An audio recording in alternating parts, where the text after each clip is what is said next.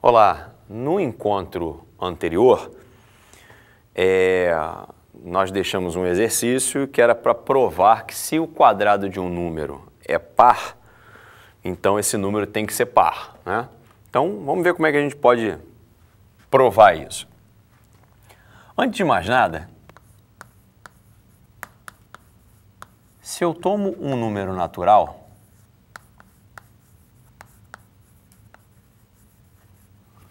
Só duas coisas podem acontecer entre as que eu vou dizer. Né?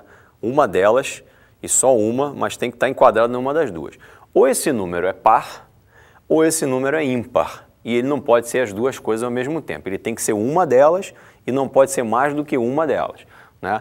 Então, da mesma forma que a gente viu esse raciocínio lá nas desigualdades, e a gente chamou de tricotomia porque nós tínhamos três casos, ou A era menor do que o B, ou A era igual ao B, ou A era maior do que o B. Nós chamamos isso de tricotomia.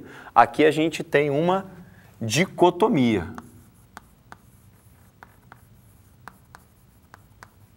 Esse número natural, ou ele é um número par,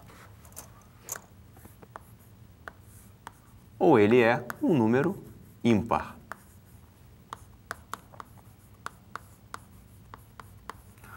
Vimos também que se um número é par, ele pode ser representado dessa forma. Desde que eu tome o cuidado de escolher o n lá no conjunto dos naturais. E se ele for um número ímpar, ele pode ser escrito assim.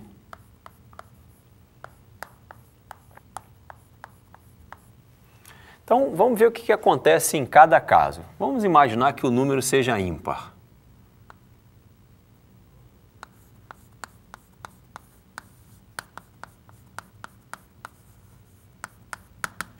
Hipótese. O número é ímpar. Bom, nesse caso, ele vai ser representado dessa forma. Se ele é representado dessa forma, o quadrado dele corresponde a multiplicar o número por ele mesmo. Nós já vimos uma construção similar a essa aqui e provamos que nós podemos fazer a seguinte operação de distributiva. Podemos fazer 2n vezes 2n e isso vai dar 4n ao quadrado, depois 2n vezes 1, isso vai dar mais 2n, depois 1 vezes 2n vai dar 2n, e 1 vezes 1, que vai dar 1. Bom, olhando para cá, eu posso agrupar essas duas coisas através da soma. 2n mais 2n vai virar 4n. Então, o resultado da nossa distributiva fica escrito dessa forma aqui. Agora, nota uma coisa. Não importa quem seja o n ou quem seja o n ao quadrado. Se ele é multiplicado, se o n ao quadrado está sendo multiplicado por 4, isso aqui se transforma num número par. Então aqui eu tenho um número par. Da mesma forma aqui, ó, não importa quem seja o n, se ele foi multiplicado por 4, porque implicitamente ele foi multiplicado por 2, na verdade ele foi multiplicado por 2 duas vezes. Isso aqui também é um número par. E esse 1 é nitidamente um número ímpar. Quando eu somo par com par, o resultado dá outro número par. E quando eu pego esse resultado par e somo com ímpar, isso vai me dar um resultado ímpar. Ou seja, um número ímpar ao quadrado dá como resultado um outro número ímpar. Então, esse meu número aqui, ele não pode ser um número ímpar. Como a gente sabe pela dicotomia que ou ele será ímpar ou ele será par, né? então resta a possibilidade dele ser par. Mas vamos verificar né? a outra hipótese, então.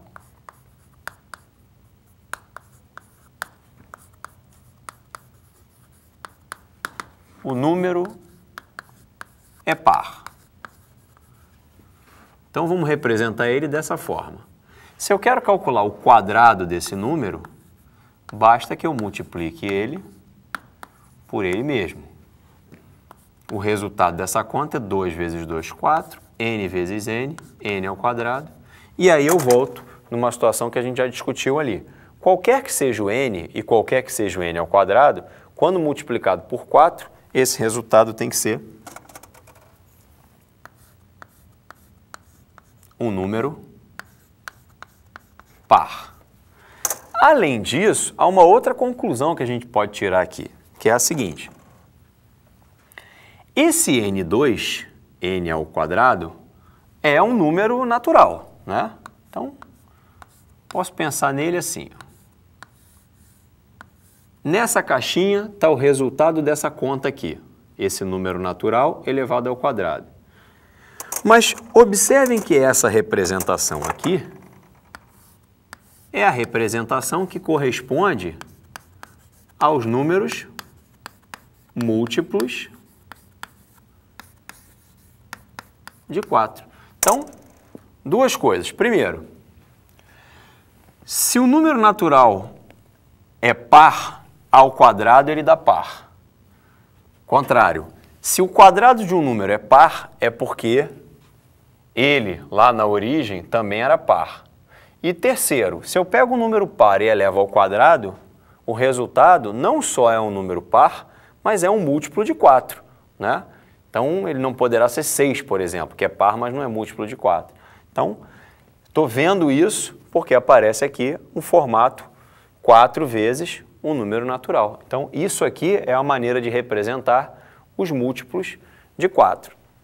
Vamos retomar aquele diagrama que a gente fez lá no início com o conjunto dos números naturais, que está lá no, no, no nosso material didático.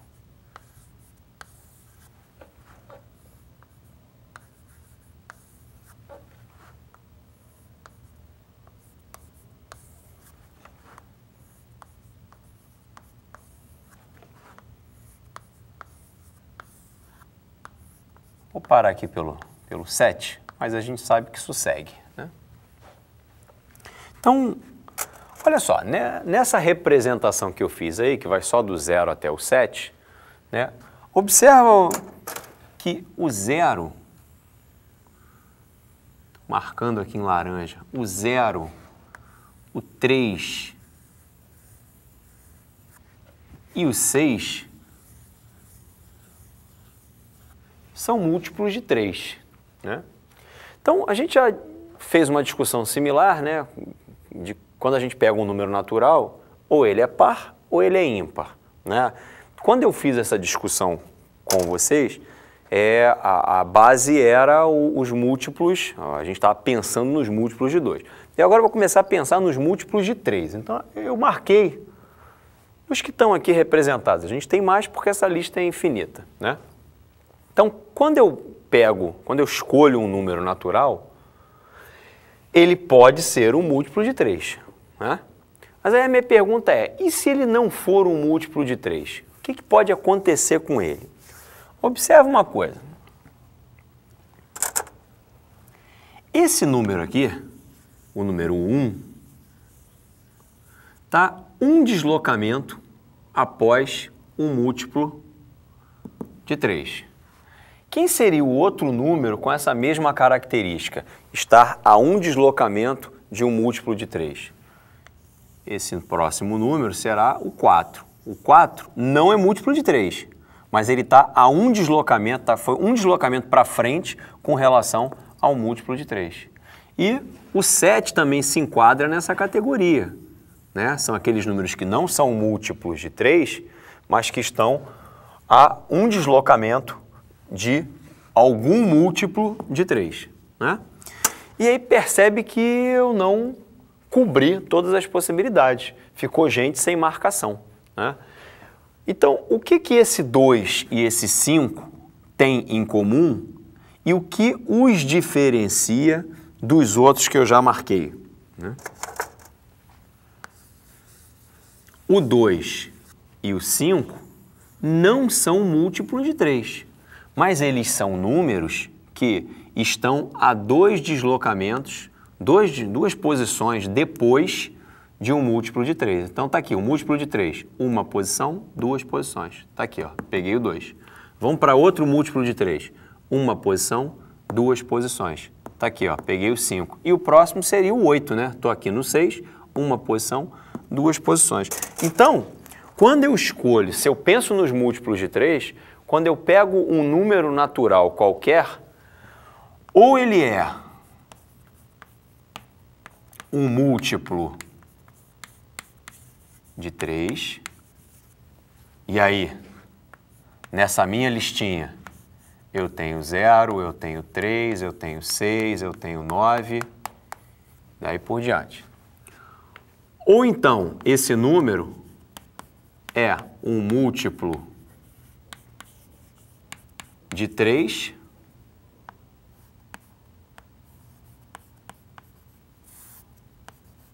Vou botar em numeral aqui. Mais um deslocamento. E esses números serão o 1, o 4, o 7, o 10, daí por diante. Nota que eu ainda não peguei todos aqui, porque ainda há uma terceira possibilidade. Né? esse número pode ainda ser um múltiplo de 3 mais dois deslocamentos.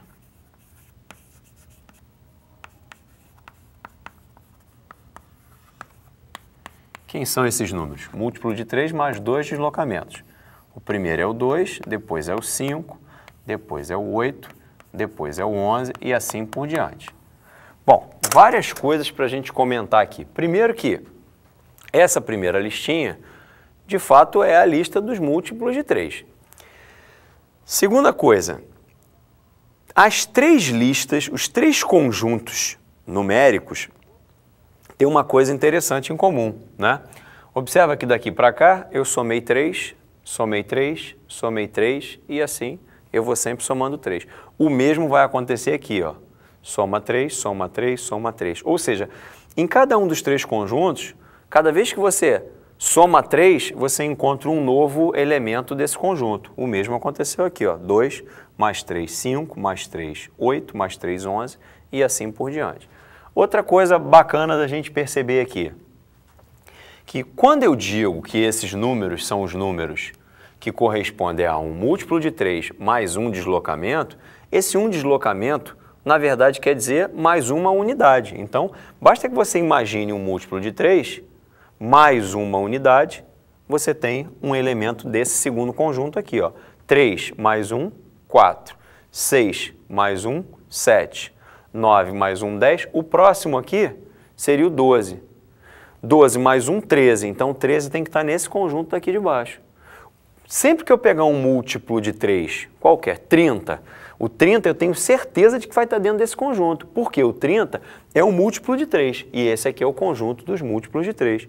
Agora, o 31 é um múltiplo de 3 mais uma unidade. Então, eu garanto que o 31 vai estar nesse conjunto aqui. E, por sua vez, o 32 né, é um múltiplo de 3 mais duas unidades. Então, eu garanto que esses números que têm esse formato serem um múltiplo de 3 mais duas unidades, eles têm que estar nesse conjunto aqui. Na verdade, quando a gente fala de múltiplo de 3, múltiplo de 3 mais 1 e múltiplo de 3 mais 2, né, essas coisas podem ser representadas dessa forma aqui. Ó. Todos os múltiplos de 3, isso a gente já viu, podem ser representados nesse formato. Não esquecendo que o n tem que ser um número escolhido lá dentro do conjunto dos naturais. Agora, os elementos desse conjunto aqui, eles não são múltiplos de 3, mas há uma maneira de se representar esses caras aqui. Eu posso fazer assim, ó.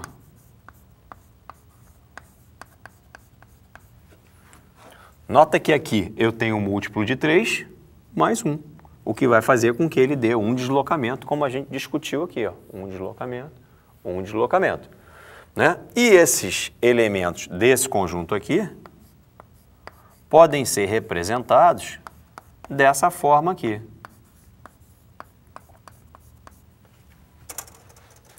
E aí, é, talvez você esteja pensando, por que, que eu não posso representar na forma 3n mais 3? Pode, mas aí o que acontece? 3n é múltiplo de 3. 3 também é múltiplo de 3. Quando eu somo um múltiplo de 3 com outro múltiplo de 3, o resultado aqui já é um múltiplo de 3. Né? Então, é desnecessário representar isso dessa forma, né? porque este número aqui já está representado ali dentro. Talvez você pudesse pensar em escrever esse número nessa forma aqui. O que, que eu estou fazendo aqui? Eu estou fazendo o contrário da distributiva. Observa que se eu fizer a distributiva do jeito que a gente viu anteriormente, eu vou ter 3n mais 3. O que eu fiz aqui foi desfazer essa distributiva, essa distributiva de trás para frente. Isso se chama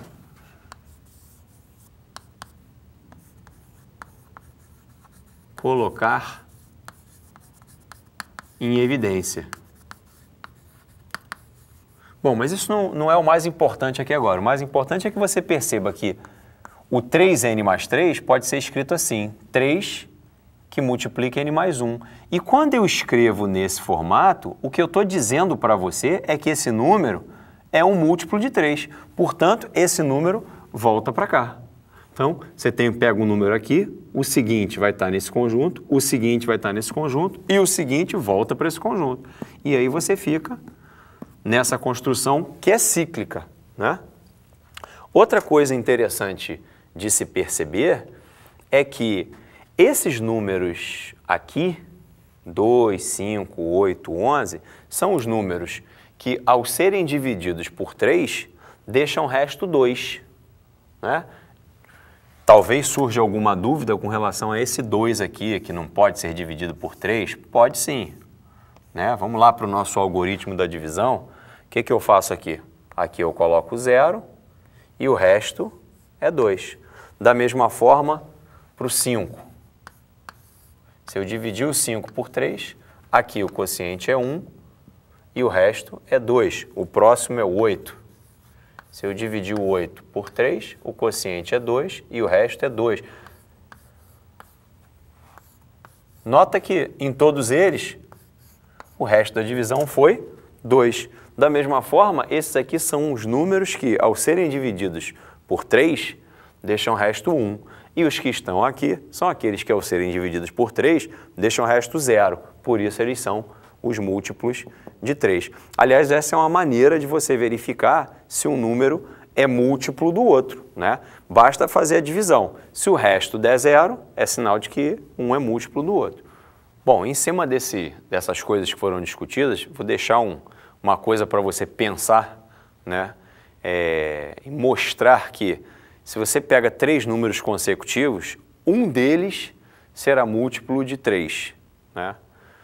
Pensa nisso e você pode transformar esse problema num problema equivalente. Se você pegar quatro números seguidos, um deles será múltiplo de 4. Então, tenta mostrar que isso é verdade.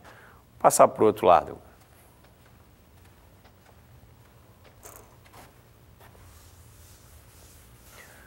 Vamos discutir mais uma coisinha, apoiado nessas representações que a gente acabou de, de fazer. É, vamos imaginar um número que tenha essa forma aqui. Chamar esse número de número A.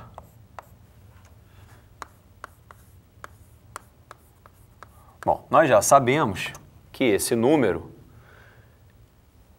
ele é um múltiplo de 3 mais 1, então significa que quando eu dividir o A por 3, ele deixará resto 1. Vamos pensar num segundo número que eu vou batizar de B.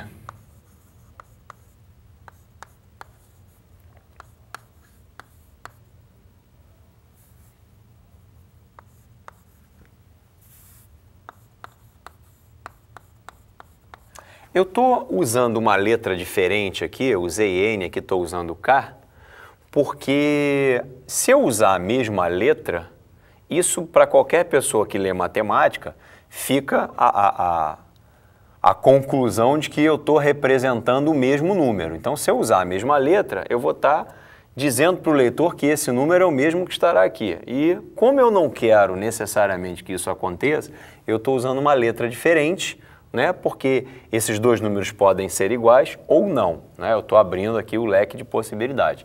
E aí o B eu escrevi de tal forma que ele seja um número que, ao ser dividido por 3, deixe resto 2.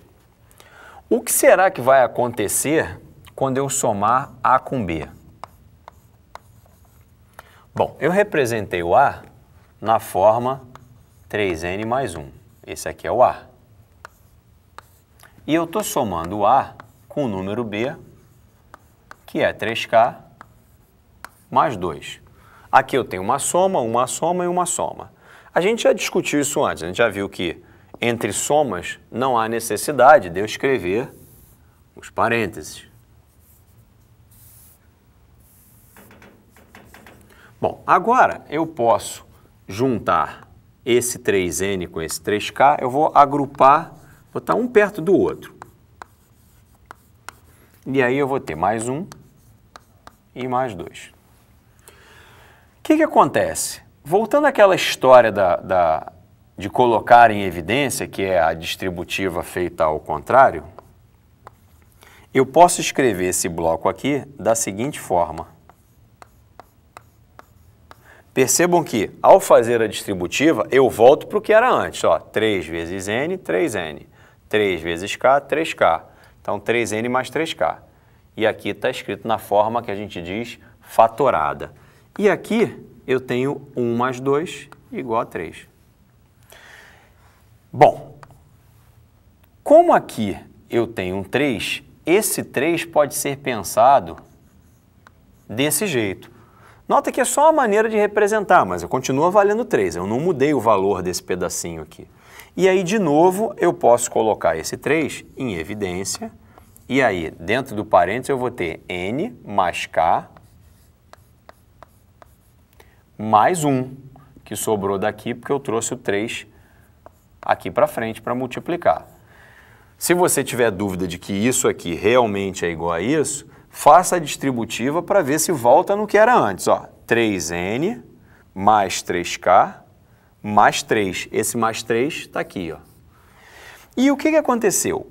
O resultado dessa conta tomou uma forma, né, a representação desse resultado está numa forma que me permite concluir que o resultado é um múltiplo de 3. Porque olha só, aqui há um número um número natural mais um número natural mais um. Então, o resultado dessa soma aqui dentro dos parênteses é um número natural. E esse número natural está sendo multiplicado por 3. Ou seja, em outras palavras, eu tenho 3 vezes alguma coisa.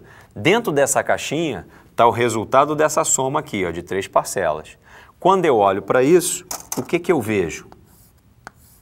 Eu vejo aquela nossa maneira de representar um múltiplo de 3. Mas um múltiplo de 3, ao ser dividido por 3, deixa resto zero. Bom, então o que, que a gente concluiu aqui? Se eu tenho um número que deixa resto 1 na divisão por 3 e eu tenho outro número que deixa resto 2 na divisão por 3, quando eu somo os dois, o resto desse número somado, né? Quando eu divido esse número aqui por 3, o resto dessa divisão por 3 é zero. E por trás desse resultado tem um, um mecanismo que é bom a gente dominar, que é o seguinte. Eu vou criar aqui um número P e esse número vai ter a seguinte forma, 3n ah,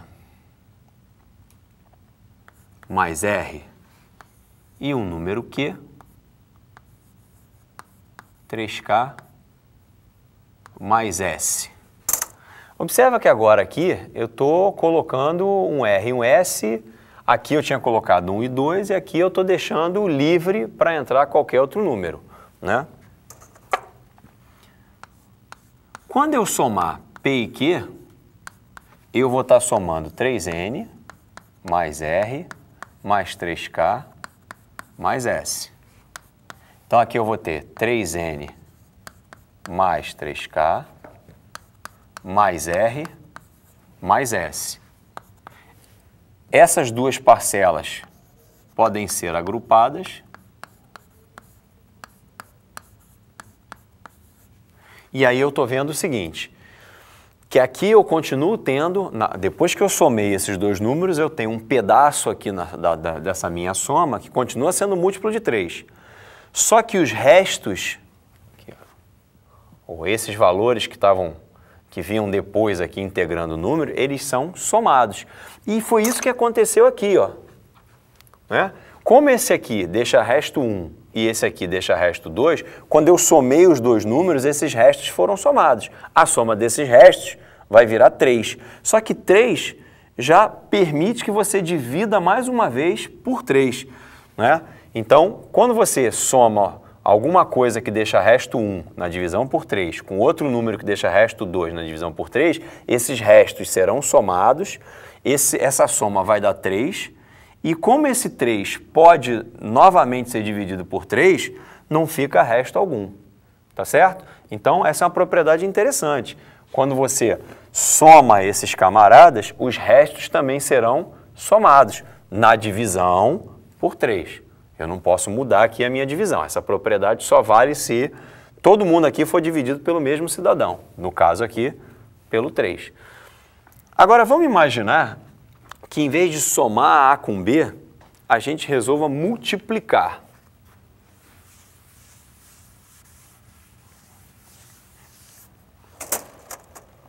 Então, vou fazer a multiplicação de A com B. Como eu representei o A na forma 3n mais 1, e o b na forma 3n mais 2, a nossa multiplicação pode ser representada dessa forma aqui. Ó. E aí, de novo, eu caio naquele formato que permite fazer uma distributiva. Né? Então, 3n vezes 3n, isso dá 9n ao quadrado. 3n vezes 2, isso dá 6n. 1 vezes 3n, 3n e 1 vezes 2, 2. Bom, esse camarada aqui, o 9n ao quadrado, é um múltiplo de 3. Esse 6n também é um múltiplo de 3 e esse 3n também é um múltiplo de 3. Aliás, por uma questão de estética, eu posso até juntar aqueles dois ali e escrever 9n mais 2. Percebam que esse pedaço aqui é necessariamente um múltiplo de 3. Aliás, ele é um múltiplo de 9, só que tudo que é múltiplo de 9 também é múltiplo de 3. E o resto que apareceu é 2. Então, se esse número deixa resto 1 e esse número deixa resto 2, ambos na divisão por 3, quando eu multiplico os dois, esse número aqui, resultado da multiplicação, ao ser dividido por 3, deixa resto 2. De novo, vamos entender qual o mecanismo que está por trás disso. Vou voltar aos meus númerozinhos P e Q. Se eu fizer P vezes Q, eu representei o P assim, ó, 3N mais R. E o Q eu representei como 3K mais S. Fazendo a distributiva, eu vou ficar aqui com 9n vezes k. Depois, multiplicando 3n por s, nós temos 3 vezes n vezes s. Depois, multiplicando r por 3k, nós temos 3 vezes r vezes k. E, finalmente, multiplicando R pelo S, nós temos R vezes S. E aí, mais uma vez, todo esse bloco aqui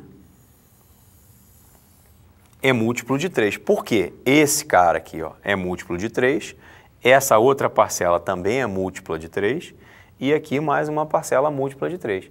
Então, eu tenho três parcelas múltiplas de 3. Quando eu somo as três parcelas múltiplas de 3, o resultado tem que ser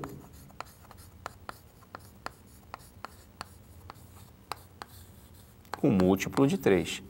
E aí, o mecanismo que está por trás dessa nossa discussão é o seguinte, se eu tenho um número que deixa um determinado resto na divisão por 3 e tem outro número que deixa um resto S na divisão por 3, quando eu multiplico os dois, se eu pegar o resultado da multiplicação e dividir por 3, resto, os restos se multiplicam também.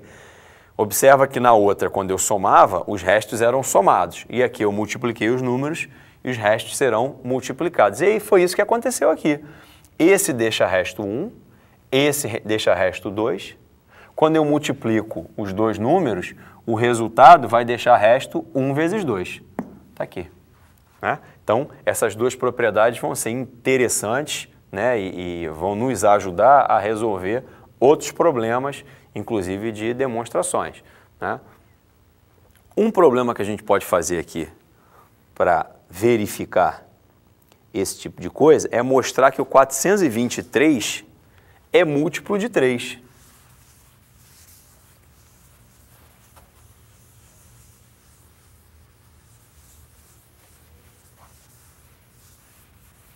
Então, como é que eu posso usar essas coisas que a gente acabou de ver para mostrar que um número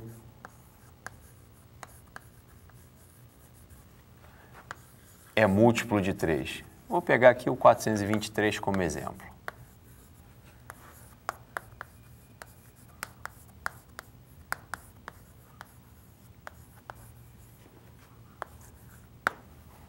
Bom, eu posso pegar o 423 e a gente já discutiu a questão do valor posicional, né?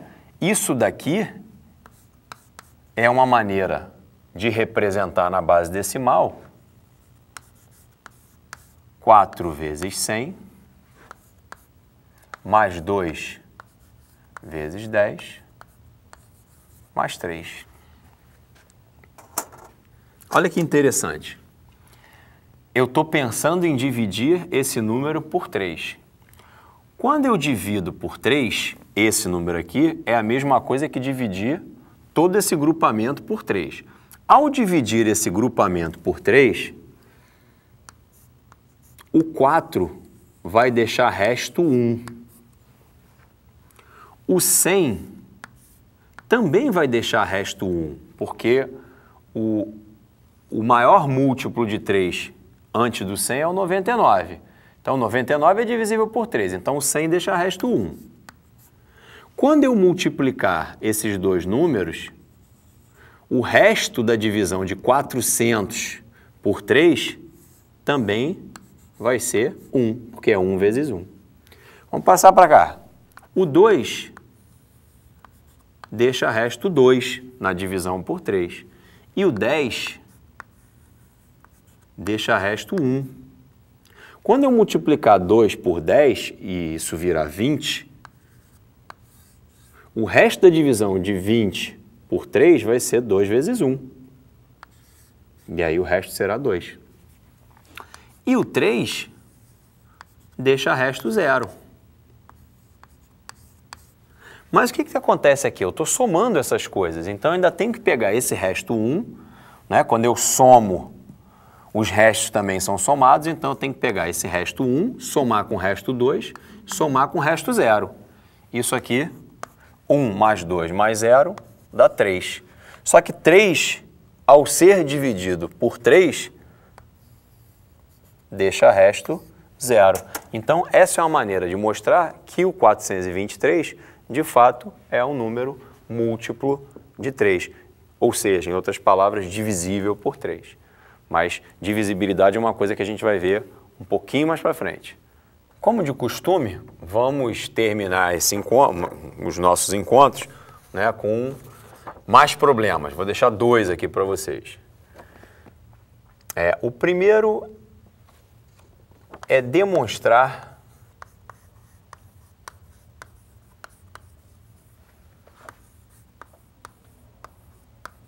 que o número ABC, e aí quando eu escrevo ABC, eh, o A, o B e o C estão representando algarismos. Né? Então, demonstre que o número ABC só é múltiplo de 3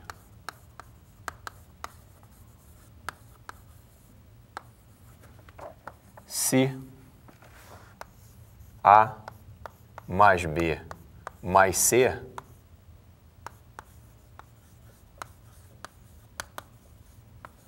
também for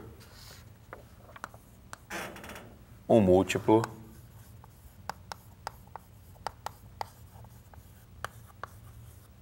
de 3. Bom, o que eu estou querendo dizer aqui é o seguinte, se a soma dos algarismos for um múltiplo de 3, esse número será um múltiplo de 3. O que está sendo proposto aqui, na verdade, é a demonstração do critério que a gente usa para verificar se um número é ou não divisível por 3, né? múltiplo de 3. Tá? E o outro problema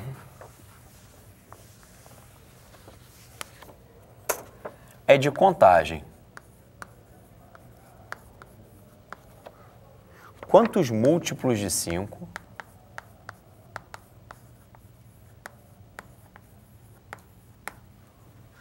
há entre 27 e 213. Solução para eles no próximo encontro.